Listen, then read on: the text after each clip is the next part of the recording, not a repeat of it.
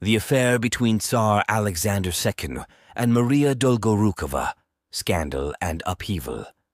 Distraction from reforms. The scandal diverted Alexander's attention from important reforms he was undertaking. This potentially slowed down progress on modernization efforts. Loss of public trust. The public's disapproval of the affair could have eroded trust in the Tsar's leadership and judgment, legitimizing Maria's children. Although controversial, Alexander eventually declared his and Maria's children morganatic princes and princesses, granting them some status but not full succession rights. This decision further complicated the line of succession.